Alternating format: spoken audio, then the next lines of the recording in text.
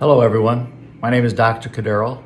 I was a principal at St. Anthony's School for 30 years, and I know that during those 30 years, many of our families had financial problems that we tried to help with.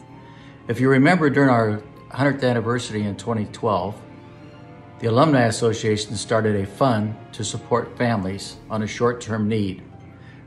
Since that time, the funds have run out, and we are desperate again to try to raise $15,000 for our needy families. But the dire need is greater than it's ever has been. With the pandemic that we have now going through our country, it's very serious, as we all know. But it's more serious to those families who have lost their jobs, who can't pay for their food or utilities for their families, and are really out of luck. This campaign we're starting is a short-term campaign uh, that we hope to help families finish the school year because we know when things get tough and finances get short, the first thing that families must do is leave Catholic schools.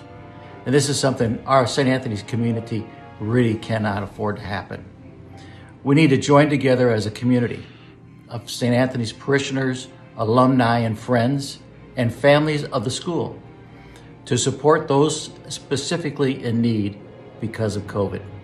Please help us raise this money, this $15,000, to support those families on a short-term basis. You can donate on this website, and there's also instructions on this with this letter and with this video to uh, pay a, a, a donation by check. This is the Christmas season. St. Anthony's Parish and alumni and school people have never failed to help people in need.